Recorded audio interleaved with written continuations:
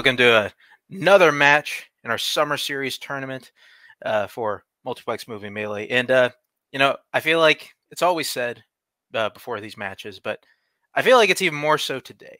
I think we have a really special match here today. We got Matthew Chen going up against Dylan Vanthuyne. Uh, you know, Matthew is picking up right where he left off from last season. He's staying hot. He really showed he really showed that he is a force to be reckoned with in melee. And Dylan is having a bit of himself a uh, a comeback year of a winning uh winning the last one standing, showing up here third round of the tournament. I think I think I think we got a special one here today. I got Andrew Barr here. Tell me something I didn't already say. Uh no, you kind of covered it. Um Matthew Chen had like a fantastic year last year. And as you said, he's picking right off where he le- uh, right up where he left off. Uh, and Dylan, Dylan is having himself one hell of a season. He is a train that has kind of been rolling along. Um, two very dangerous players, two of the better players playing right now, actually. And for them to be playing at this point in the tournament kind of seems unfair, but that's the way that the uh, the dice roll sometimes. It does. Why don't we uh, start start off talking to our competitors? Well, let's bring in our 15th seed, I believe, Mr. Dylan Van Thine. Dylan, how you doing today? Yeah, I'm doing good. Uh, it should be fun to reiterate a lot of the stuff I said in my uh, post-match interview in my last match. I'm really excited to play uh, to play Andrew, uh, or not Andrew. You're not. I'm not playing you, Andrew. Uh, Matthew, uh, because surprise, people are back already. Fuck is already off the rails. Uh, yeah, he's a. We're very similar players, him and I, in terms of like the strengths that we use. So whenever I face him, like I always have to think out outside of the box. And last time we faced in teams, it was like extremely close, and I think it showed just how evenly matched we are. So it should be a good match. No doubt. Uh, let's go and bring your opponent. The uh, number seven seed in this term is uh, Matthew Chen, and his manager, uh, the Holzman. Uh, guys, how you doing? Um, I'm doing great. No, I'm like I've um, never made it this far in the tournament before, so you know I'm really happy to be here. Uh, Dylan is a fantastic player. Like we played in teams, and that was just such a tight match. And uh, he he's you know he already uh, said everything that I would probably say about us. I think this should be a really fun time. Yeah, it could not be understated that Dylan is having a season that a lot of players could only dream of right now. Like he has been playing insane this year. Uh, so we definitely did not take Dylan lightly. Uh, but like Dylan said himself, he is not playing Andrew Barr because we are going to stop him right now. Alrighty then. That's the thing where you use their words against them. Take me out. nice. I don't know if you need to say more, but you did, and we're here. Anyway, let's just get started. I think everybody wants to get started. We're gonna go with round number one. It's your basic whiteboard round. You're gonna get eight questions from eight general movie categories and movie trivia. You're gonna get 15 seconds to write the answer down on your whiteboard. At the end of that time, you're gonna show and verbalize your answer. Get a point for each correct answer, and uh, you get all eight right. You're gonna receive a bonus question, also worth one point. Uh, and then you get uh, three repeats and challenge used throughout the match. Gentlemen, you ready? Yep. All righty. Let's get started with your first question in the round of the 1970s. What is the profession of the main character Tevye in Fiddler on the Roof? Uh, this is a show I've actually done twice. It's one of the only shows I've done that for. Oh, okay. Was it I got this character in question?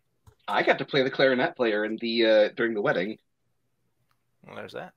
Five, four, three, two, one. Pens down. Start with Matthew. Uh, it's just a teacher. And uh, Dylan. I said milkman. Milkman is correct. Uh, Dylan taking the 1-0 lead. All right, and your next question is going to come in recent releases. Who plays billionaire Ab- Abigail Fairfax in The Lost City? If You you, had a billion dollars, what would you do? I don't know. I, I think I asked that question once in grade school. I said I'd buy a bunch of washing machines. It's a really stupid idea. I don't know why I said that. Five, You're gonna own a laundromat. three, two, one. I was un, I was uh, unimaginative. Pens down. Uh, let's go to Dylan. Sandra Bullock. And Matthew. Is it Daniel Radcliffe? That no more perfect rounds. It Daniel Radcliffe is the correct answer. All tied up. Going into your next question in the category classics. Which classic thriller has its climax set on Mount Rushmore? So give me your Mount Rushmore of fast food. Fast food. Wait, listen, I'm from Texas, so all four spots are just taken up by Whataburger. Five, We don't get that where I'm from. two, one. That's a shame. Pens down. Uh, let's go to Matthew. North by Northwest. All right, and Dylan. North by Northwest. North by Northwest is correct. Moving on. Your next category is going to come in comedy. SNL alum Phil Hartman and comedian Sinbad both co-star in what 90s comedy about a man posing as an old friend to hide from the mob? Ever done this before? Uh, last year, so, you know, one of my less crazy years. You know, Hmm. one of my less crazy attempts though about a friend who was also You- Sinbad. You seem to live a crazy life, don't you? Five, four, three, two, one. Pens down. I mean, Boatman's done assassination attempts. So I don't know. true. uh, Dylan, Oh, I got nothing on that one. uh, Matthew. I don't know if Sinbad is in this. I said Ishtar. Uh, both are incorrect. Uh, we're looking for a house guest. Classic known as house guest. Moving on to your next question. Category romance. What 2010s romance film is about a woman who has stopped aging at 29 years old? Uh, I wish I could have stopped aging then. Maybe kept some of my hair. Uh, a few less crow's feet. would have been nice. Any other things you want to change? Maybe a few less pounds. Five, four, three, two, one. Pens down. Uh, I forgot where we're at. Uh, Matthew. I said Age of Adaline. Okay, and Dylan. Age of Adaline. Age of Adaline is correct. Simple. Next question. as we move into the decade of the 1980s. The Goonies takes place in what U.S. state? See, we both said it because this has been brought to my attention. Sometimes we got to clarify the 1900s. We can't just say 70s or 80s. Like people don't know what the hell we're talking about. Apparently. Yeah, unless we're talking about the Great Train Robbery. Uh, I don't think 1880s is going up soon. Three Man with an accordion. pens down. Uh, let's go to Dylan New York. and uh, Matthew. I said Massachusetts. Both are incorrect. Uh, We're looking for Oregon. Oregon. And, uh, moving on to your penultimate question. The category in uh, mystery thriller. How is Tom Cruise's character disfigured in Vanilla Sky? Uh, are you looking for a specific answer on this? And we'll answer. I think Vanilla Sky is a type of ice cream. Now I'm hungry. Could. Yes. And I'm not supposed to have dairy. five, four, three, two. Repeat the question. Okay, beat me. So Dylan's first repeat. Uh, how is Tom Cruise's character disfigured in Vanilla Sky? So when you say that, do you mean like what part of him is disfigured, or like What do you mean? Tom Cruise? That sounds like a. That sounds like a Jeopardy question. I Yes, so five, or an answer, I mean. three, two, one. Pens down. Let's go to Matthew. I said car accident. I don't know if that's. All right, and Dylan. Car accident. Car accident, car crash. What we're looking for. That's correct. as we head into the final question of the category, uh, I mean, of the uh, round, but the category being animated. Who voices Buddy Grimes in Beavis and Butthead Do America? It's a great title. It kind of is. It's juvenile as all hell. but I mean, it's it's one of the all-time greats. I mean, it just gets right to the point. exactly. Five, four, I three, wish I could do America. Pens down. Let's go to Dylan I just said Mike Judge. and Matthew. I just said Tom Kenny. Both are incorrect. We're looking for Bruce Willis. Bruce Willie. Yep. And uh, with that, it's our round number one. If we're all tied up, four to four. With that, uh, is that what you have? Yep, that is what I have. Just got to make sure. Sometimes I'm a moron. So, but with that, we're moving on to round number two. It's our wheel round, in which our competitors will get a chance to spin our wheel. And uh, where they like what they spin on the first time, they can keep it. If not, they can elect to spin again, but they must hold on to what they land on the second time. Uh, you're to get five questions in the category you spin off, worth uh, two points apiece. Or you can check down to multiple choice, worth one point. Uh, there is stealing, so watch out for that.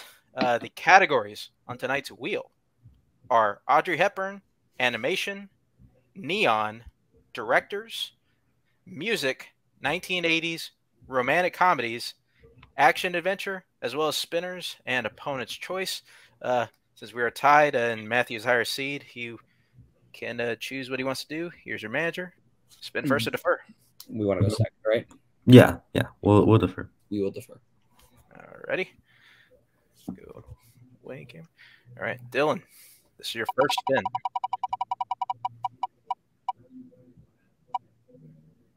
Primarily lands on lands on romantic comedies. Would you like to keep that or spin again?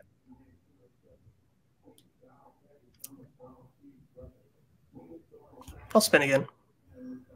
Ready? Land on this time, and you land on animation. Okay. Ready? That uh, Andrew, why don't you take his question on animation? You're muted. You're- Yeah, I am muted. Uh, so, Dylan, you ready for your first question in the animation? Yep. Great. First question. Balto primarily takes place in what U.S. state?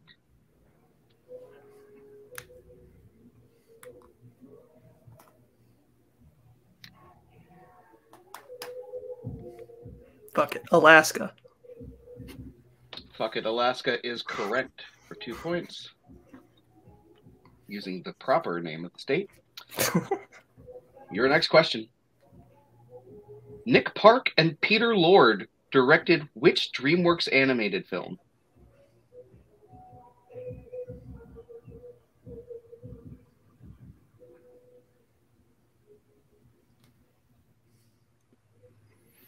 Multiple choice. Your multiple choice options are A. Wallace and Gromit, The Curse of the Were Rabbit. B. Flushed Away. C. Chicken Run. Or D. The Road to El Dorado.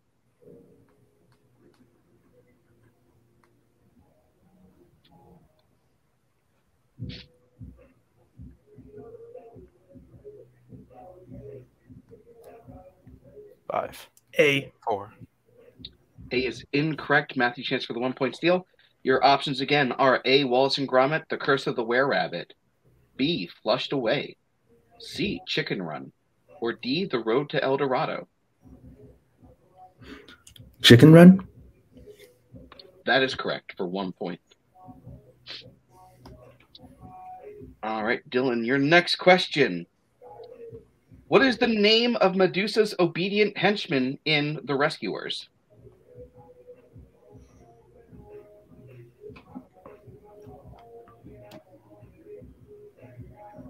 Multiple choice. Your multiple choice options are A. Hoops, B. Snoops, C. Cores, or D. Moors.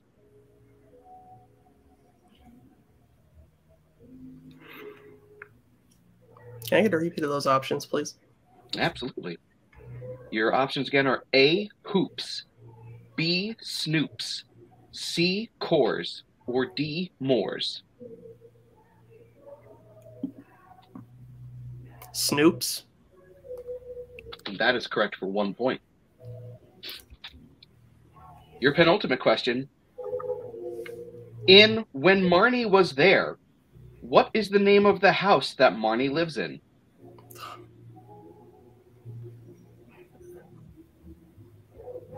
Multiple choice. Your multiple choice options are A. Marsh House, B. Cliff Cottage, C. Ocean Pearl, or D. Palm Manor.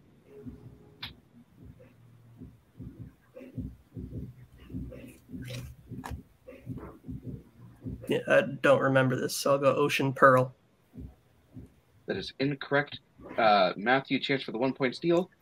Your options again are A. Marsh House, B. Cliff Cottage, C. Ocean Pearl, or D. Palm Manor. A. A is correct for one point. All right, and Dylan, your last question in the category. How specifically is Marvin Acme killed in Who Framed Roger Rabbit?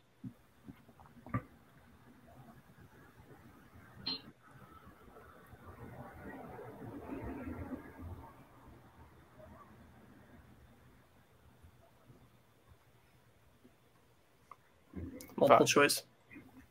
Your multiple choice options are A. Hit by a train, B. Blown up by dynamite, C. Shot by a cannon, or D. A safe dropped on him.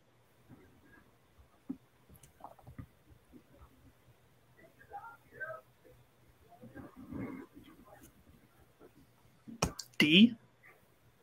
D is correct for one more point. And uh, with that, brings uh, Dylan's total up to eight. Uh, Matthew getting a couple steals up to six. Uh, is that what you have, Andrew? That is what I have. All right. I'll bring in Cameron and the wheel. And uh, this will be Matthew's first spin.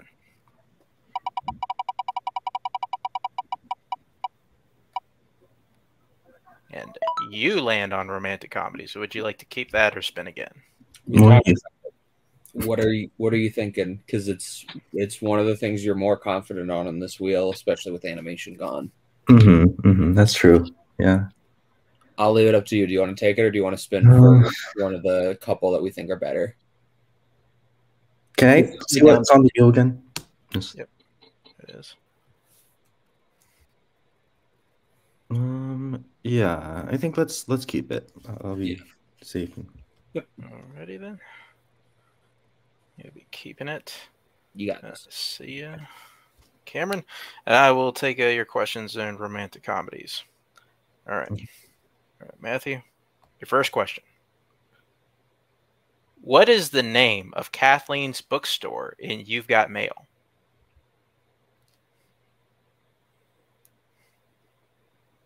Shop around the corner. It's correct for two points. Your next question. Bob Odenkirk, Lisa Kudrow, and Andy Serkis have supporting roles in what 2010's rom com?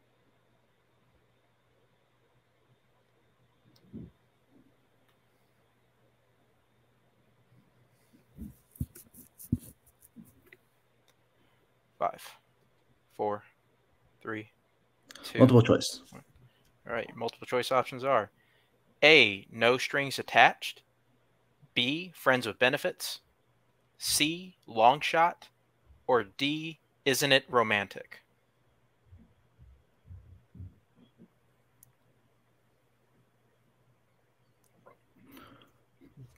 Long shot. Long shot is correct for one point. Next question. What romantic comedy features a dividing line known as the Walls of Jericho? It happened one night. It's correct for two points. Your next question. What country does the majority of Crazy Rich Asians take place in? Singapore. It's correct for two points. Final question in the category. Who directed 1979's Manhattan? Woody Allen. That is correct for two points. Uh, that leave a clean clean sweep of the category. Matthew gets the score up to 15. Dylan at eight. Is that what you have, uh, Andrew? I think you're muted. again. But okay, you say you're good. Moving on to round number three, which is our pick your poison round, in which uh, our competitors uh, will get a chance to uh, pick uh, their questions at uh, values of one, two, three, and four points. Uh, well, I, I kind of just said it. Well, the, the categories they can pick from tonight are Emma Stone, horror, coming of age slash teen, classics, Leonardo DiCaprio, musicals, romantic comedies, and sci-fi fantasy. We're gonna let our competitors pick their questions right now, and uh, hopefully we come back later.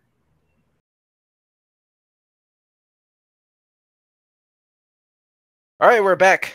Uh, betters have picked their categories, ready to go.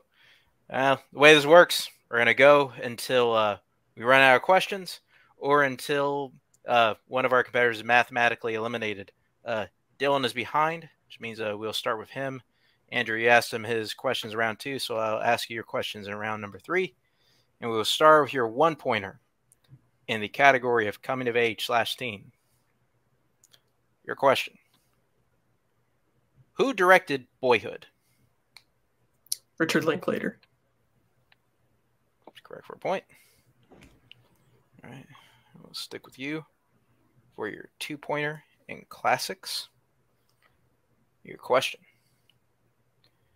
Who directed the Philadelphia story?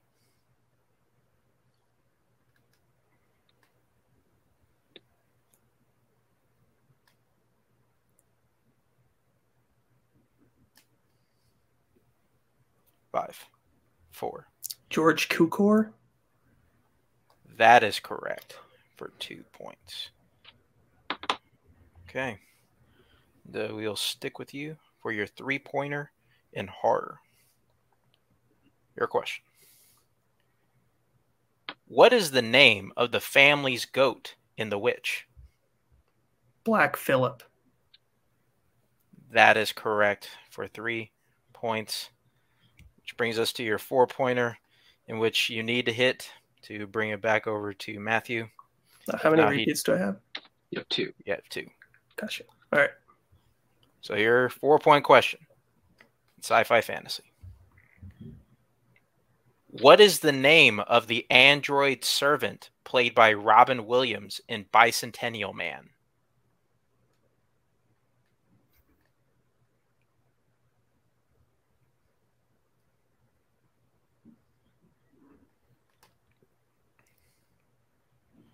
Five, four, three, two, Repeat the question. all right, that is your second repeat. Your question again. What is the name of the android servant played by Robin Williams in Bicentennial Man?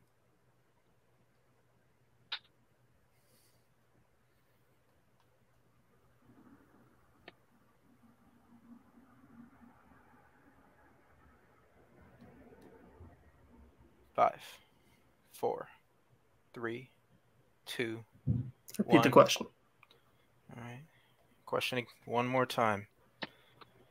What is the name of the android servant played by Robin Williams in Bicentennial Man?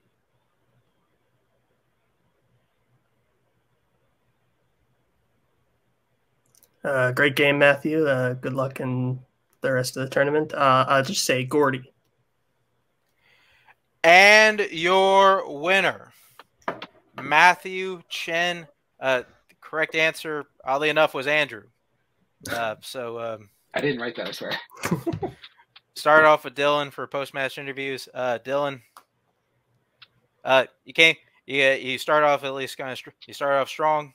Round number one, uh, tied up, and then uh, you got a wheel that probably you, you you got a category that you were not probably necessarily a hold up in, and specialty of Matthews, just the way it goes sometimes, and he uh, did good in this category, but. I think it wraps up what is what has been a pretty good run for you in the tournament, and uh, you still got that title shot in your back pocket. But how do you feel True.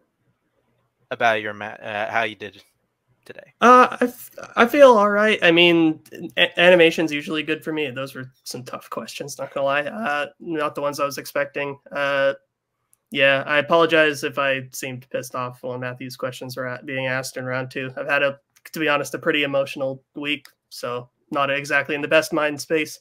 Uh, so I apologize for that and being a little immature. But yeah, I mean, I'm happy at what I was able to do in the tournament. I in the past few months, I basically doubled the amount of wins on my record, and all by way of knockout or TKO.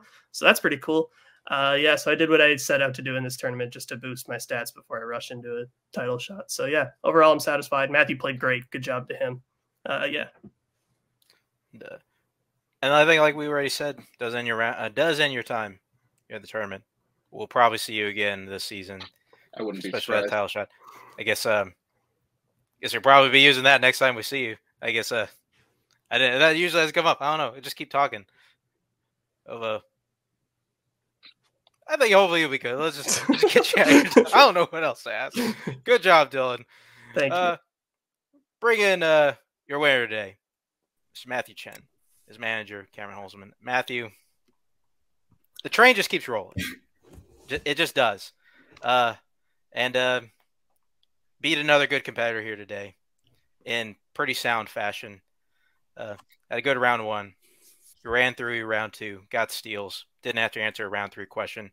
And you're going into the semifinals of the tournament. How do you feel today? Uh, yeah, no, I'm, I'm, I can't believe I, I made it this far. Honestly, um, no, Dylan's just such a great player. Like he's had a killer year. Uh, and I think like round one really showed like how much our knowledge is like pretty similar because we were, you know, very close there and like we hit almost like everything, you know, the same and missed those same ones. So uh, it just really came down to round two. He he got an unlucky spin and I was able to pick up steals there. And I honestly had no idea how romcoms was gonna go, but I honestly just I, I just trusted myself with with that category instead of spinning again, and it worked out. Yeah, we we talked for a while before this about what do we do if romantic comedy specifically is the thing that comes up. Um, we were like, we got to play it by ear, we got to feel it out, and it ended up being the right choice. And yeah, like like Matthew said, Dylan and him were in lockstep in round one, and the wheel truly, as everyone has experienced in this game, makes you or breaks you. And today we got the luckier spin. Um, yeah, we are. Ma- Matthew's gonna do what he can next round. We'll see what happens, and we're we're excited to see it. Right. Uh, speaking of next round, which um, I believe, uh, Andrew, do you know quite for certain like who he's playing next? Uh, Not a clue. I, I think I do, but I don't know if I should say it. Well- we we we know behind the scenes who we're playing the winner of. Either one will be a very interesting match, and we'll leave it at that. oh, thank you. I wasn't sure about this. Thank you. Yeah, for, the thank you for this one. That is right, but I don't. Yeah, It's it's That's what I you'll be playing but I wasn't- between Jeremy Adams and Antonio Chavez. Who you want more? Um, I mean, I I I mean, I played Antonio before, so I would love to play you know someone new. uh, And uh, Jeremy, I uh, you know he's a legend of the game. I've um, that would be really cool to see happen. Alrighty then. Uh, job today. See you next time. Thank you guys. And Andrew, another exciting installment in our tournament today. This thing, it just, I think this probably this is probably maybe our best one yet, just in terms of how how many turns this has taken and who's still left. But uh, please put a bow on this match for us today. Yeah, no. Um, as the player said, uh, it was really tight in round one, and then sometimes, unfortunately, as they said, the wheel just sometimes is a game changer. Um, it was it was good two categories for Dylan, uh, for Matthew, and Matthew was able to capitalize. Uh, but don't don't count on Dylan's performance in here. He almost came all the way back in round three, but Matthew just was the better player today, unfortunately. Right. We'll see him again, and the wheel is going to wheel. With that, we'll say goodbye here today for this episode of Multiplex Movie Melee. Thank our competitors, Matthew Chen, Dylan Vanthuyne, was our managers today, Cameron Holzman, and everybody here at uh, Multiplex. Keeps us train the tracks, brings the content to you guys. But is Andrew Barr. I'm Mark Machaca. Everybody, please be well. Goodbye. Uh-huh. Later.